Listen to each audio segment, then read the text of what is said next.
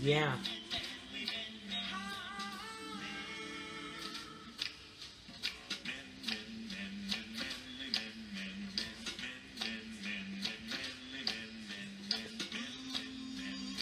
That is a lot, especially for these extended credits.